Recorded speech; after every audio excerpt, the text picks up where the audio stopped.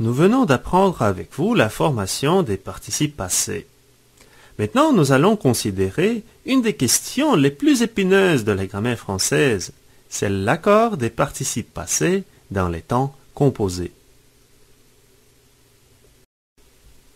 Quand il s'agit de l'accord des participes passés, il faut faire la distinction entre les verbes qui sont conjugués au temps composé avec l'auxiliaire avoir et ceux qui ont l'auxiliaire être. Commençons par les verbes qui exigent le verbe avoir comme auxiliaire. D'après la règle générale, on ne fait jamais d'accord du participe passé quand il est employé avec l'auxiliaire avoir. Par exemple, elle a chanté, bien que le sujet soit féminin, le participe passé reste invariable, chanté, e accent aigu à la fin. Ils avaient chanté, au pluriel non plus, il n'y a pas d'accord, le participe passé reste le même. Mais il y a quelques exceptions à cette règle. Toutes ces exceptions sont liées à la place du complément d'objet direct par rapport au verbe. Premièrement, rappelons-nous ce que c'est qu'un complément direct du verbe. S'il n'y a pas de préposition entre le verbe et son complément, dans ce cas, ce nom est un complément direct. Il est placé directement après le verbe. On parle alors d'un verbe transitif direct. Par exemple, j'ai vu cette émission. Émission est un complément direct du verbe voir. Elle a cherché ses notes. Ses notes est aussi un complément direct. Il se trouve immédiatement après le verbe chercher. Généralement, en français, le complément d'objet direct suit le verbe auquel il se rapporte. C'est l'ordre des mots habituels. Dans ce cas, il n'y a pas d'accord, les participes vus et cherchés restent invariable. Mais parfois, nous pouvons rencontrer un ordre des mots qui n'est pas habituel, bien qu'il soit tout à fait acceptable dans certains contextes. Il s'agit des cas où dans une phrase, nous avons d'abord un complément direct et seulement après le verbe. C'est un peu inhabituel de voir un complément d'objet direct devant le verbe auquel il se rapporte, n'est-ce pas? Mais en français, il y a des contextes où cet ordre est tout à fait normal. Par exemple, l'émission que j'ai vue. Comme nous l'avons constaté dans l'exemple précédent, l'émission est un complément direct du verbe voir. Mais dans cette phrase, il se place devant le verbe, et dans ce cas, nous devons faire l'accord avec ce complément. Émission est un, nom féminin, exige l'accord, et nous ajoutons en E au participe passé vu. Considérons encore un exemple. Elle les a cherchés. Nous avons tiré cette phrase de l'exemple à côté. Elle a cherché ses notes. Et nous avons remplacé le COD par un pronom complément d'objet direct, les. Elle les a cherchés.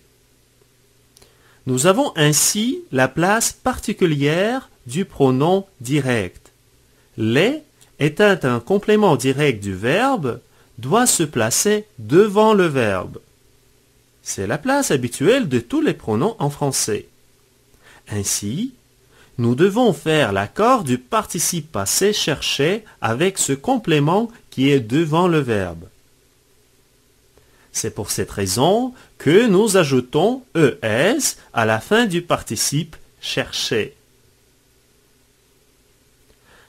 Analysons maintenant plus en détail tous les contextes possibles où nous pouvons rencontrer cet ordre des mots particuliers, c'est-à-dire quand le complément d'objet direct se place devant le verbe. Le complément d'objet direct, ou le COD, est placé devant avoir dans les contextes suivants. Quand nous employons les pronoms d'objet direct. Par exemple, j'ai vu Marie et Jeanne. Si nous remplaçons les compléments directs Marie et Jeanne, nous allons utiliser un, un pronom COD qui doit se placer devant le verbe. Je les ai vus. Ainsi, nous allons faire l'accord du participe passé avec COD, les, parce que les se place devant le verbe. Nous allons aussi mettre le COD devant le verbe dans les questions avec quel qui porte sur un complément direct. Par exemple, dans la question suivante, Quelle robe as-tu acheté Le nom robe est un complément direct du verbe acheter, car nous disons acheter quelque chose. Ainsi, en posant une question avec quel, nous mettons le COD devant le verbe. Donc, nous devons faire l'accord avec ce COD, une robe et nous ajoutons un E au participe acheter. Le troisième contexte dans lequel le COD se place devant le verbe est la question avec combien de. Par exemple, combien de livres as-tu lu? Livre est un complément direct du verbe lire. Mais nous mettons ce complément devant le verbe parce que c'est une question avec combien. Et nous allons faire aussi l'accord lu s à la fin. Finalement, le dernier contexte est une phrase relative avec que. Par exemple, dans la phrase La maison que nous avons vendue, la maison est un COD, mais comme il s'agit ici de la phrase relative avec que, nous mettons ce COD devant le verbe. Et par conséquent, nous faisons l'accord du participe passé vendu avec le complément d'objet direct, la maison. Vendu avec un E à la fin. Retenez que dans ces quatre contextes, nous mettons le complément d'objet direct devant le verbe et nous devons faire l'accord du participe passé avec ce complément. Passons maintenant au deuxième grand groupe des participes passés, ceux qui se conjuguent au temps composé avec le verbe être. D'après la règle générale, nous faisons toujours l'accord entre le sujet et le participe passé du verbe qui est conjugué avec être. Par exemple, elle est tombée. Dans cette phrase, nous accordons le participe passé tombé avec le sujet elle, tombé, e à la fin. Mais il faut faire attention aux verbes pronominaux. Nous avons appris avec vous dans le module précédent sur les verbes pronominaux qu'il y a des contextes dans lesquels il n'y a pas d'accord avec le participe passé, bien que tous les verbes pronominaux soient conjugués avec l'auxiliaire être. Rappelons-nous les cas où il y a l'accord et ceux où il n'y en a pas. Premièrement, il faut se rappeler qu'il ne s'agit pas de tous les verbes pronominaux. Les particularités de l'accord sont attribuables aux verbes pronominaux réfléchis et réciproques, c'est-à-dire les verbes qui peuvent avoir les deux formes, une forme non pronominale et une forme pronominale. Par exemple, voir et se voir, ou bien parler et se parler. La règle d'accord du participe passé des verbes de cette catégorie est la même que celle du participe passé employé avec l'auxiliaire avoir, que nous venons, que nous venons d'analyser. C'est-à-dire, le participe passé s'accorde avec le complément direct si celui-ci est placé devant le verbe. Donc, le pronom réfléchi peut jouer le rôle d'un complément direct, comme dans la phrase « elles se sont vues », avec l'accord ES à la fin de vue. Ou bien d'un complément indirect, comme dans l'exemple « elles se sont téléphonées ». Téléphoner, E accent aigu à la fin, il n'y a pas d'accord. Comment déterminer si le pronom réfléchi est un complément direct ou indirect? Une façon simple de trouver le complément direct consiste à remplacer le verbe pronominal par le même verbe transitif conjugué avec l'auxiliaire avoir et voir ainsi si ce verbe exige un complément direct ou indirect. Considérons l'exemple suivant. Elles se sont vues. Remplaçons d'abord le verbe pronominal se voir par le verbe non pronominal voir et posons la question. Elles ont vu qui? La réponse sera elles ont vu elles-mêmes. Elles-mêmes représentées par ce. Le pronom se est le complément direct car on dit voir quelqu'un.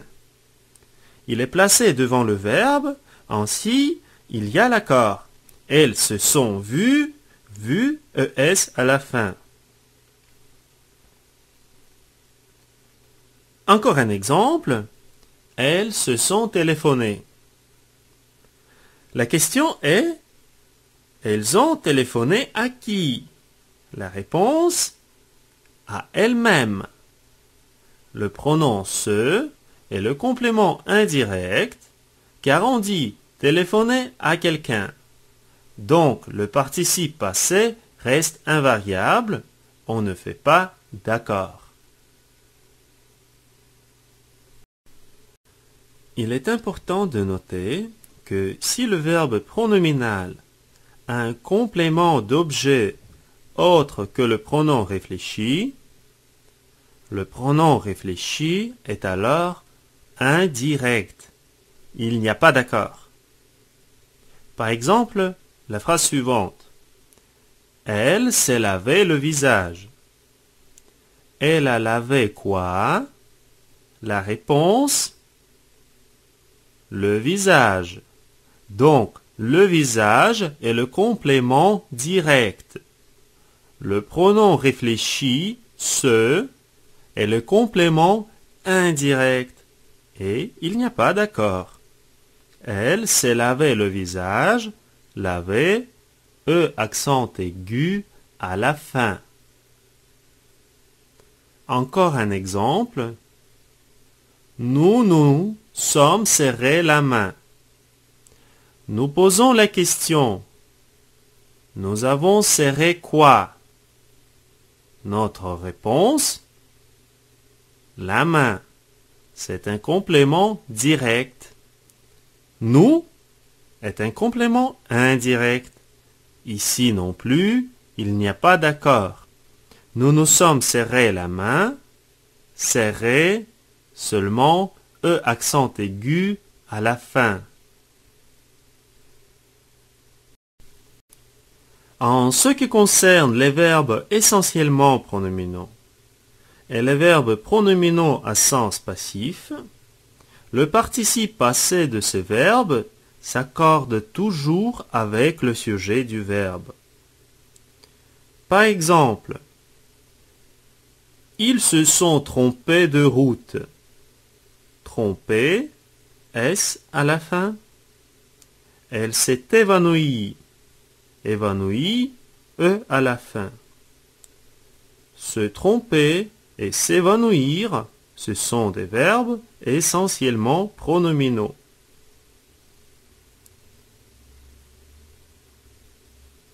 Cette route s'est ouverte récemment. Ouverte, E à la fin. Et dans ce cas, s'ouvrir est un verbe à sens passif. Donc comme nous avons constaté, dans toutes ces phrases, on fait l'accord. Cependant, il existe quelques exceptions. Les participes passés des verbes suivants restent invariables. Se plaire et ses dérivés, et se rire. De plus, se faire et se laisser suivi d'un infinitif. Par exemple, elle s'était plus à faire de la peinture. Le participe passé plus reste invariable. Elles se sont laissées tomber en boule.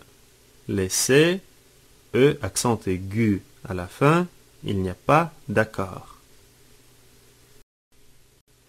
En résumé, dans les temps composés, avec avoir, nous ne faisons pas d'accord de participe passé.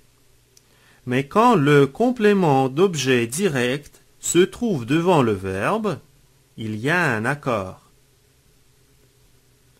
Il y a seulement quatre contextes où cette situation est possible.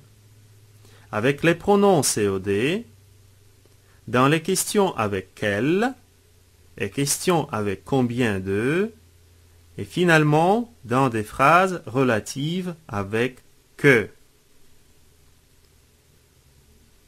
Pour ce qui est des participes conjugués avec l'auxiliaire être, d'habitude nous faisons l'accord avec le sujet, mais il faut faire attention aux verbes pronominaux. Nous ne faisons pas d'accord avec les verbes pronominaux réfléchis et réciproques quand le pronom réfléchi joue le rôle d'un complément indirect.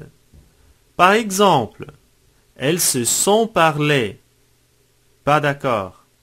Parce qu'on dit parler quelqu'un. Donc le pronom réfléchi se est indirect.